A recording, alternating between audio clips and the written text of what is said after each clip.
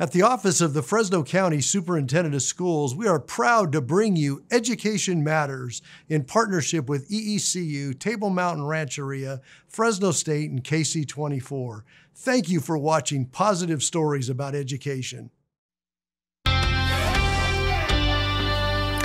The Office of the Fresno County Superintendent of Schools serves 32 school districts and is working to support schools and families during these closures. Staff is gathering resources to help support teachers who are now doing online learning. In tonight's Education Matters, Juanita Stevenson shows us how one department is engaging families online. What number plus 7 equals 10? Students and parents are working to adjust to homeschooling. Their classrooms shuttered when schools throughout Fresno closed to prevent the spread of the coronavirus. Fresno Unified has made the extremely difficult decision to close all students' schools. As we all adjust to working or learning from home, the Office of the Fresno County Superintendent of Schools says that along with reading, writing, and math, students need a healthy dose of the arts. The role of arts in our schools um, is that it is a it's an academic area that is not only important, it's absolutely essential that every child has an arts-rich experience every day. And Superintendent Jim Yovino believes that learning should continue while students are away from school. Seven. Eight. The Visual and Performing Arts Department at FCSS is focusing on providing resources for families to engage in arts activities at home. We're trying to provide resources in every one of the arts areas, whether that's dance, media arts, visual arts, music, or theater. VAPA Program Manager Aaron Bryan says some of the resources will utilize online tools like YouTube and blog posts.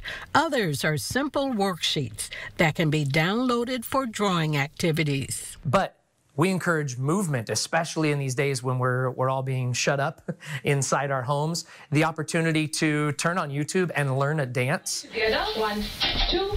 Doing these things as a family are great ways to pass the time and still engage the creative side of our students' minds. Bryan says the great thing about art is that it has the ability to speak to others and bring people together. During this time when people are sheltering in place, um, this is a chance for us to create at home and share that with the world digitally. Kids can can FaceTime with grandma and grandpa, or they could send them an email for those that have internet access, um, and they could send the artwork that they've created, or they could record themselves doing a dance or singing a song and send that. And we know that when we we share that, we are bringing joy to people's lives, and it's a way for us to stay apart but together. New resources for families will be posted every Wednesday at vapa.fcoe.org. And Bryan says whether it is art, music, or dance, families are being encouraged to share their creative work via social media using the hashtag create at home. It is bringing together families who are getting used to the reality that their living room is the new classroom. For Education Matters, I'm Juanita Stevenson, KSEE24, local news that matters. And again, we can turn off the TV now, right? So you can find all those resources. Again, here is that website, vapa.fcoe.org, and you can share your creative work with the hashtag create at home. Great, Great idea. It yeah. is. Mm -hmm.